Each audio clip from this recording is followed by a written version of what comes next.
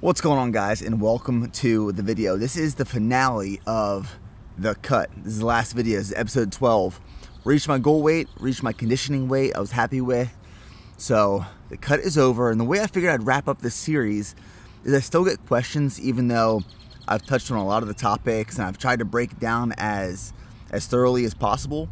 I'm gonna use this video to wrap up the series with how to make dieting easier. Four steps.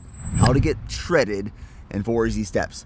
So there's like this analogy that I always reference to, and I've always wanted to show it physically, so that's how I'm gonna kick off the video. So welcome. You just keep working. You just keep doing all you can, no matter how beat down you are, no matter how tired, no matter how hungry. You just keep going. No matter how bad it got, no matter how hungry I got, no matter how tired, no matter how long I was there, I would have never quit.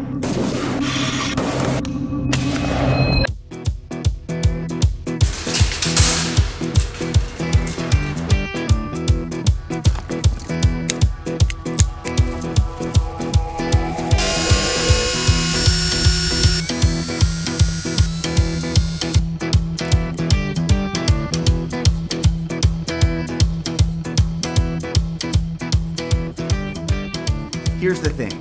Step number one to successful diet is discipline. And this is the hardest for a lot of people. And if you don't have that discipline in place, it's hard to hit your macros, go through your training sessions, implement your cardio, make changes, embrace some of that suck as the diet gets deeper and harder. Discipline is number one. And this is the biggest thing I realize people struggle with. And when people reach out and ask questions about dieting, how do you stick to your diet? Well, let's refer to the switch because a lot of people turn on their diet and turn off their diet and turn on their diet and turn off their diet. And then they're good for a few days and a few weeks and they have a cheat meal and then it spirals into a cheat day into a cheat week. The discipline switch is crucial for success for a diet. So what i do like whenever i set my goals and my objectives towards something maybe that switch is off for the moment i turn it on i go all in and like i am I'm in the mode. Like I'm focused, I'm dialed in.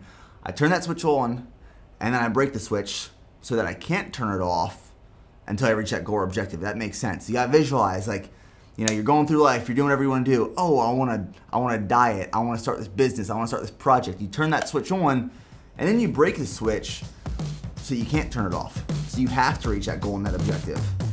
Biggest, most important step in dieting and cutting is discipline.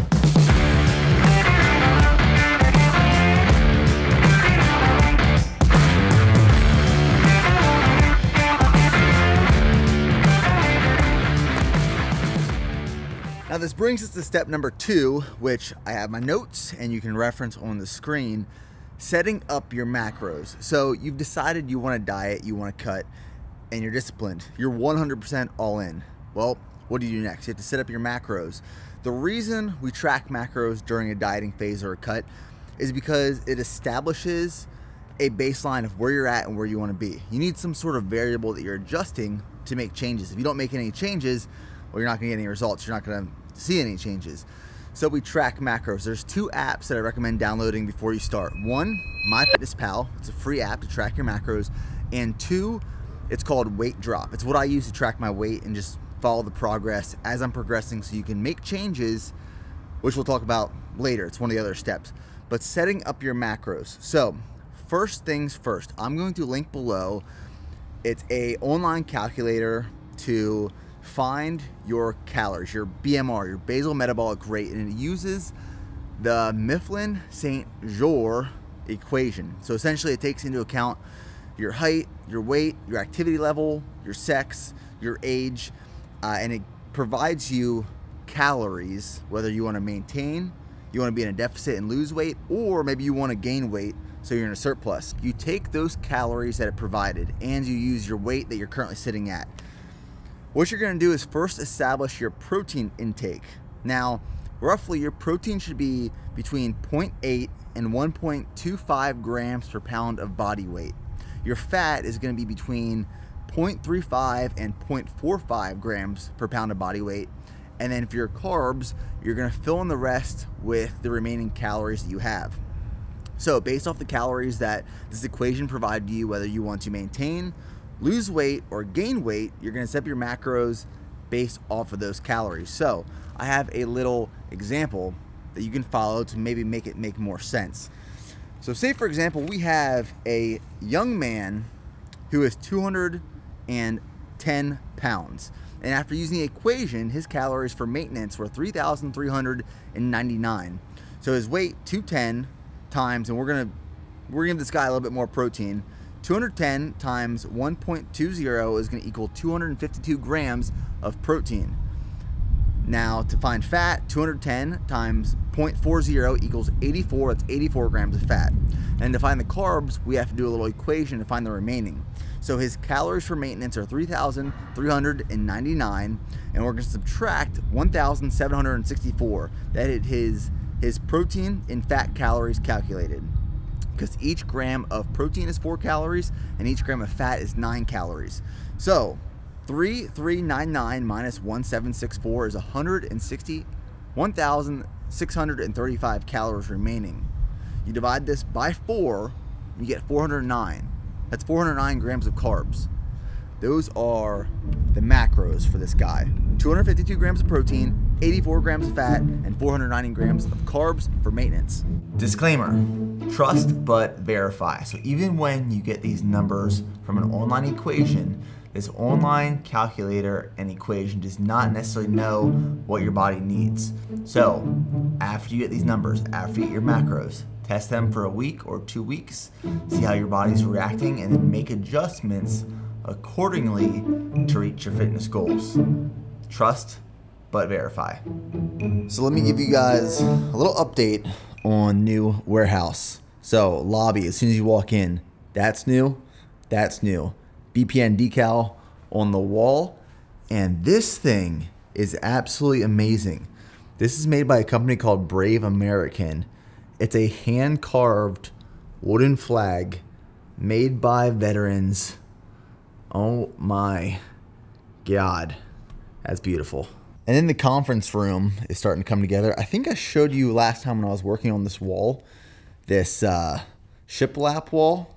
So this is finished, and this is the new conference room. Welcome. Now I'm giving these tips in order of how important I believe, me personally, they are one, discipline, two, setting up your macros, three, step number three is going to be making adjustments to your training, to your macros to continue success. And here's something to keep in mind the entire time keep it simple, keep it simple, keep it simple. There's a lot of different strategies and approaches and techniques to diet and training and nutrition and, and everything. Like this whole fitness thing. There's a lot of different opinions. These are my opinions and how I do it, but I like to keep it simple because it's very easy and it, be, it can become very easy for a lot of people to be overwhelmed by how complicated they make it for themselves. But if you're disciplined, you set up your macros, and then you make adjustments too, you can make it pretty easy on yourself. So, talking about making adjustments. Now, the goal when you first set up your macros, and we're talking about a dieting phase or a cut, is to diet on the most amount of calories as possible. You want to eat as much as you possibly can while still losing weight because this increases the sustainability of your diet, like mentally and physically. So, you want to go into as small of a deficit from the beginning in order to lose weight. So maybe it's it's 400, maybe it's 500 calories initially. If you I mean there's two extremes. There's one extreme where you're dieting too hard in the beginning and you burn out really quickly. There's the other extreme where you're not in a deficit enough, where you're not losing any weight, or you're not tracking accurately. So there's those two extremes. If you find yourself somewhere in the middle, you're going to have results. You're going to have success. So, say for example, you start your diet and you're tracking your macros and you're losing weight slowly, maybe a pound, two pounds per week, and then that weight loss stops. Once that stops, you have to make adjustments to your deficit. You know, you have to take away more calories, whether that's in the form of nutrition, you're eating less, or you're burning more with exercise. So here's two different techniques in the way I like to do it. My protein stays consistent the entire time throughout a cut. I mainly manipulate carbohydrates and then fats. So maybe as I stop losing weight, I will take away 20 grams of carbs and 5 grams of fat and I'll, I'll experiment with that for a week. And if I'm not losing any more weight, maybe I'll take away 20 more grams of carbs and 5 more grams of fat. I'll make those adjustments as my weight loss stalls. Now you can also start incorporating cardio. So maybe you'll hop on a Stairmaster for 20 minutes a day or 20 minutes two to three times a week to begin. And as I mean, you want to you want to kind of just follow the progression. That's why tracking your weight and tracking your nutrition, you have these objective variables that you're manipulating. Just keep it simple. As your weight loss stalls, implement a deeper deficit with your diet or training in the form of cardio to keep losing weight. And just aim for that one to two pounds per week as you keep losing, as you keep losing. And when you stop losing, well, what do you have to do? You have to either take some calories away or burn some more in the gym or during cardio. My biggest piece of advice is keep it simple.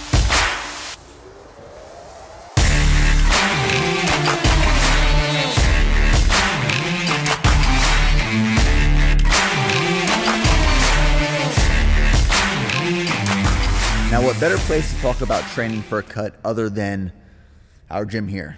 So, we're still packing orders out of the old warehouse and operating out of the new warehouse. We're operating out of two spots right now.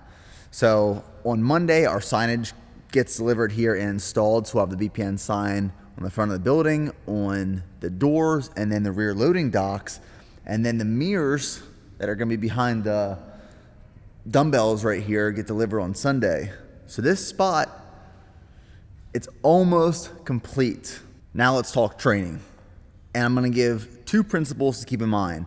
The intent of dieting is one, maintain and retain as much muscle as possible, and two, lose as much fat as possible.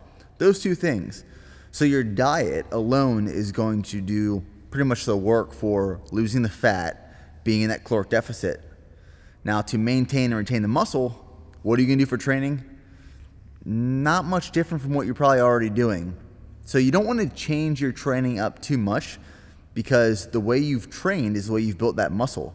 And the intent of a diet and a cut is, like I said, retain as much muscle, lose as much fat. So, your training should pretty much stay the same. You don't want to go like super high reps. You don't want to go like from a bodybuilding approach to a powerlifting approach. You want to pretty much keep what you're doing.